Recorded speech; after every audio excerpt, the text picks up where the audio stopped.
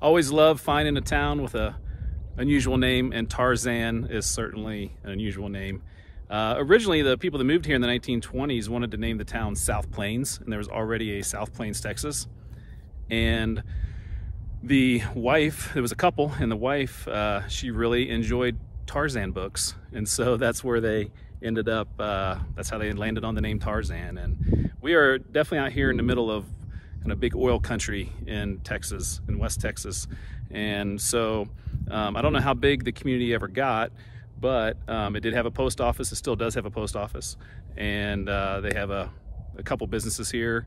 Have a gas station. Um, I got me a Tarzan T-shirt, and um, other than that, you can see just a lot of kind of uh, you know big uh, conglomerated businesses working out here in these fields, and um, but it's very beautiful. It's very wide open out here in West Texas, and certainly whenever you see a a dot on the map with a name like Tarzan, you got to go check it out.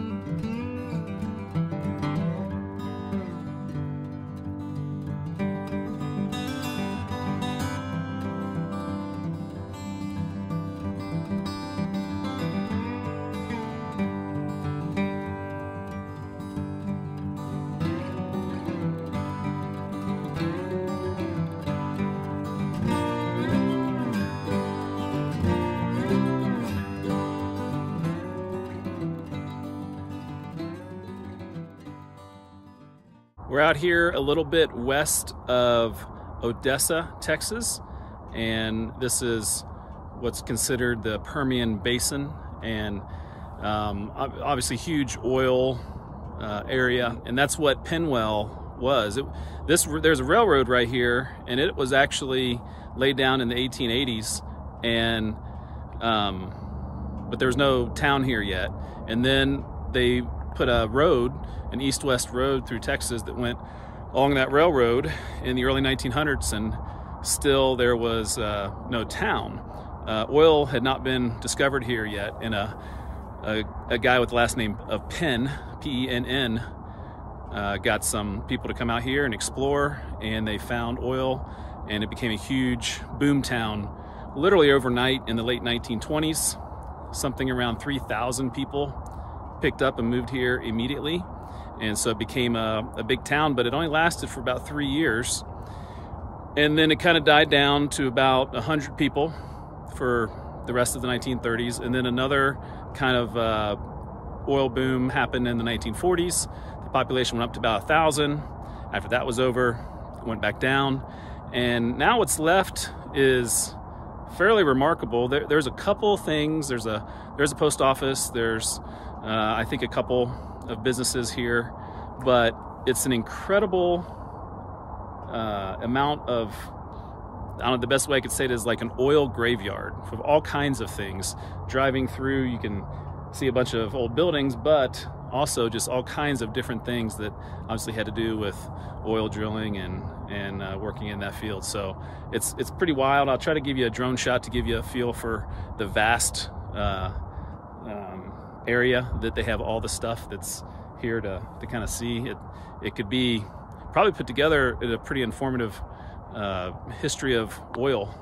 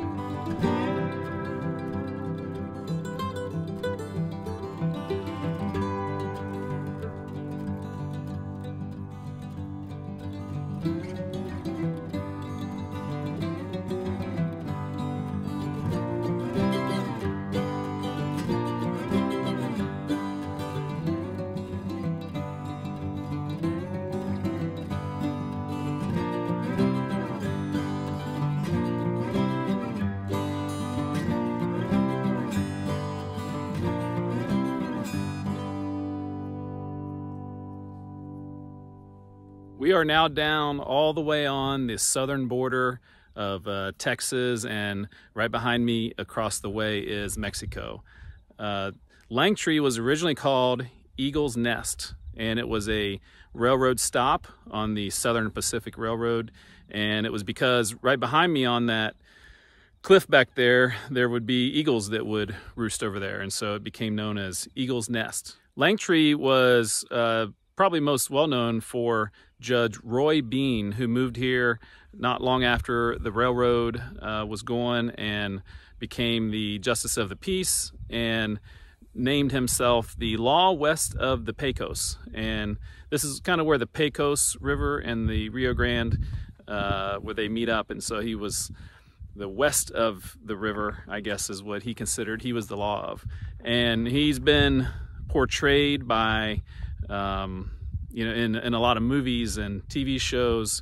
He was even portrayed by Paul Newman in a in a western years ago. So the town of Langtry was, you know, a, a nice town, and it had a lot of things going for it.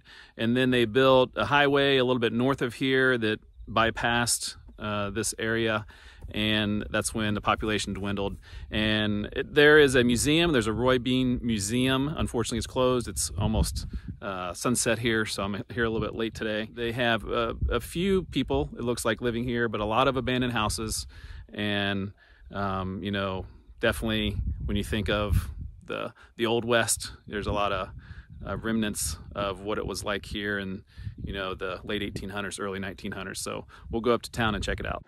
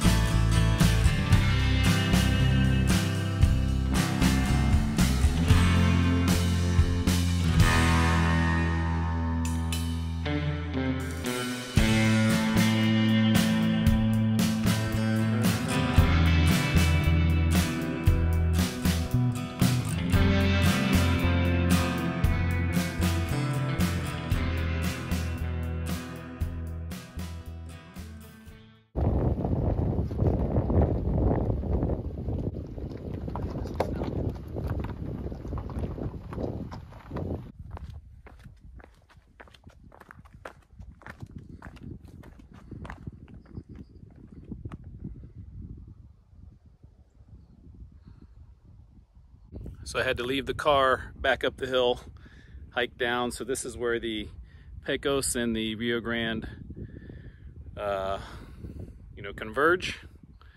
Absolutely beautiful. Don't come down here if you're a little bit afraid of heights.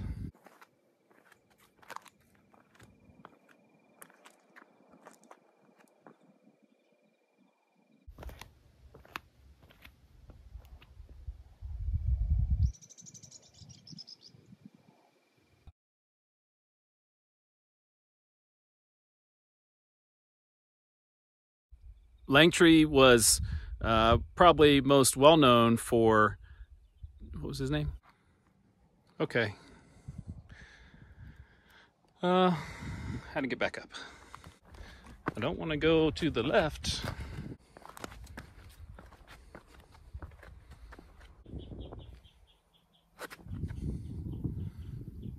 Go that way. Now, for my vehicle. On the map, it looked like a pretty good road.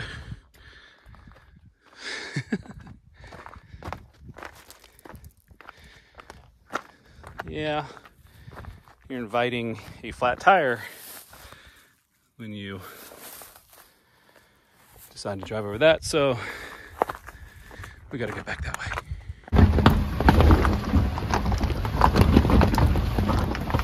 That's why you get a car with four wheel drive at the rental place.